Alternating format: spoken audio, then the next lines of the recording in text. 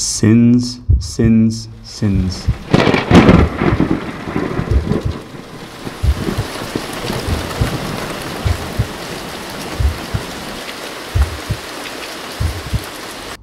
The Prophet ﷺ was asked about fasting the day of Ashura.